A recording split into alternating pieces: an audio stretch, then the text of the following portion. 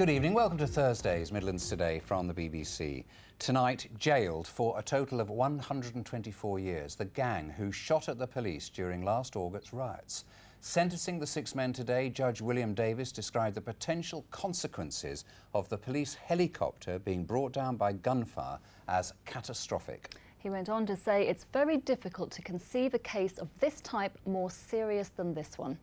Tonight, the police said it was pure luck that prevented multiple murders as the gang turned their guns on police lines. Our correspondent Peter Wilson was in court.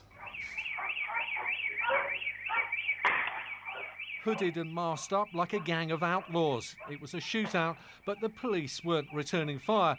They'd been responding to reports of looting and arson at the Barton's Arms near Aston. Last August, Birmingham was descending into chaos. Some 40 youths set out to take on West Midlands Police, and they were armed and dangerous. Yes, the pub was ransacked and set on fire with no thought given for the lives of the four people sleeping upstairs. But the motive wasn't to steal, it was simply to ambush the police. They did lure our officers into a trap. That's what they set out to do. That's what they did do. And when the officers got there, they shot at them with handguns with at least four weapons. They shot uh, up to a dozen shots at the officers and at the force helicopter.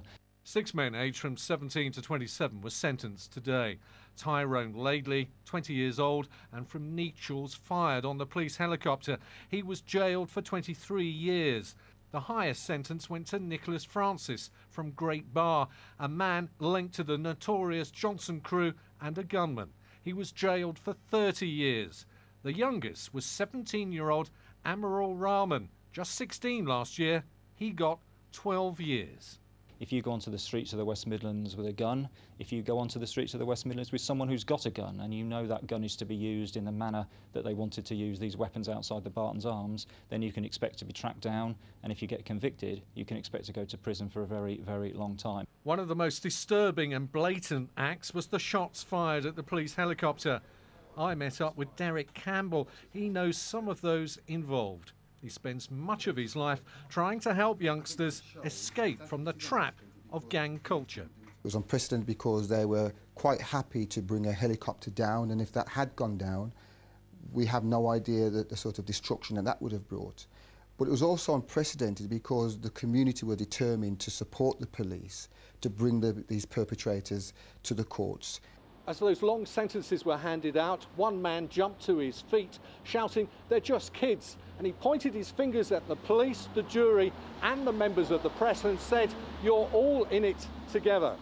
Today was a good day for the police and a harsh lesson for a group of young men who thought that they were in control of the streets. Peter Wilson, BBC Midlands Today at West Midlands Police Headquarters. Well, we're joined now by Assistant Chief Constable Gareth Cann of West Midlands Police. Thanks for joining us this evening, Mr Cann. How close do you think your officers were to being killed on that night? Well, very close indeed, I'm, I'm afraid to say. It's a matter of pure luck as we know that they weren't killed, but they came very close indeed. Uh, these people turned their gunfire on them deliberately and in quite a sustained way. And from the trajectories that we've worked out from where bullets did strike buildings, etc., we've probably worked out that it is genuinely within, within inches of uh, being struck by those bullets and potentially losing their lives. I mean, these sentences are very severe, despite the fact that no one's actually killed. But it, it, they do send out a message, don't they? Well, the fact that no one's killed doesn't undermine the seriousness of the crime. That was uh, just pure luck. Nothing more than that, that nobody was killed. Um, and it does, undermine, uh, does underline the seriousness of the, of the offences. Um, uh, the judge himself said that these are, are, are unique crimes, unprecedented. Any crime uh, like this is serious, but this is um, of, a, of, a, scale altogether different to anything we've experienced before. Um, and the sentences reflect that. I think they reflect the punishment that's required in such cases uh, and also send out a message of great deterrence, and that's very important as well.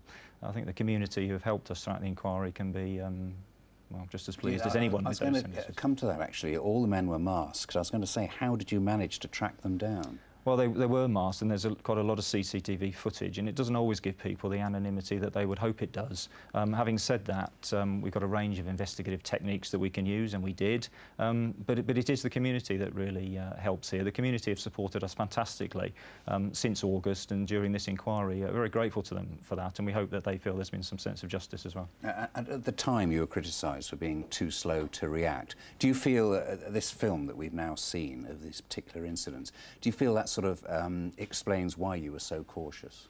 Well, we were in a unique situation. It was an unprecedented set of, uh, uh, of incidents we were dealing with across the West Midlands at that time. Um, and, and I think that the, the bravery of the officers is really, really quite important. It's not the first time officers have been shot at uh, in this city during disorder. It happened in October 2005. And so I suppose however brave the officers are, and they were very brave, it, it is always going to be at the back of their mind. I think that underlines um, the, the professionalism of their actions and uh, very proud of what they did. Gareth Cann, thanks very much indeed. Thank you. Thank you. Thanks for joining us this evening here.